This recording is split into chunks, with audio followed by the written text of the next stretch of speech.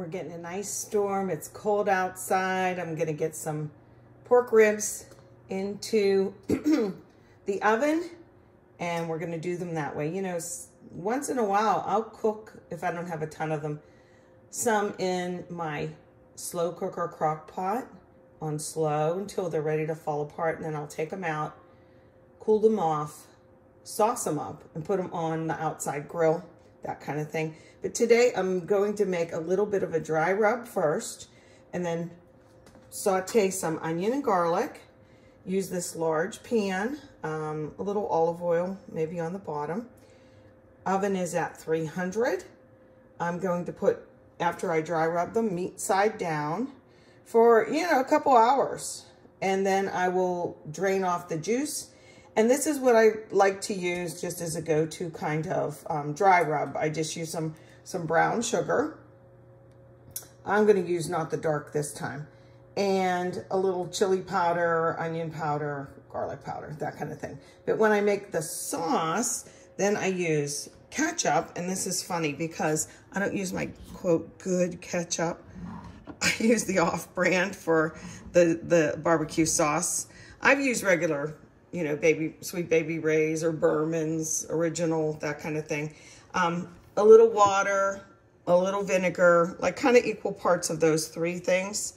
Then again, brown sugar, chili powder, onion powder, garlic powder. And I mix that in with those guys. So um, Next up, how to get, I already cut them, but I wanted to show you how to get the silver skin off of the back of these ribs. That part's important.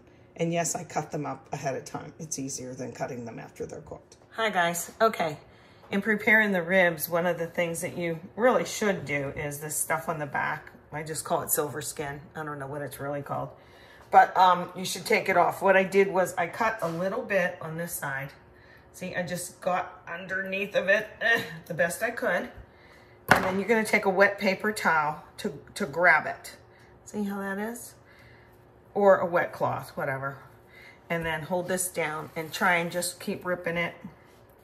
See if it'll come off for you. Ooh, baby, look at that.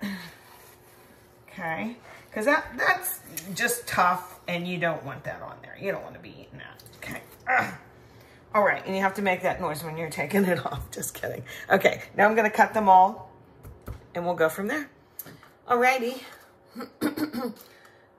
These are bone side up, skin side down. Tiny bit of olive oil on the bottom. Oven's at 300 again. I'm gonna use my heavy duty foil. I keep this, this is a big pan. This is a whole rack of ribs. So I'm gonna use this, cover it pretty tightly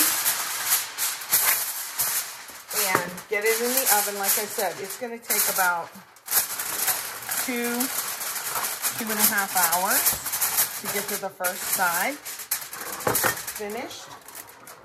Okay.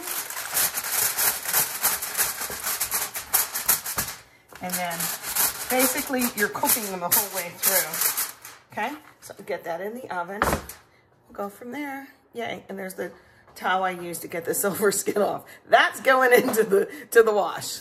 I'm using a pot because ultimately this is going to be sauce and it's going to cook for a while. So I'm sauteing some onion and some garlic, fresh garlic. I just put the garlic in because now the onions are getting nice and brown. The barbecue sauce is in the back burner on kind of medium, like a low medium, and it's simmering See that big onion in there? I don't really care. So what?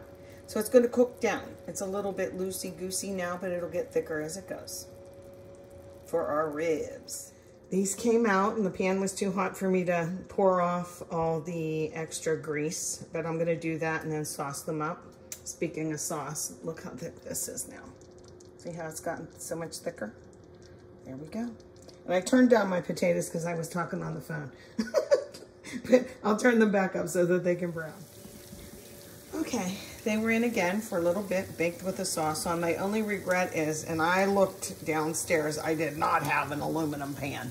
Trust me, use an aluminum pan. I'm gonna try and turn these at the same time and hold this camera.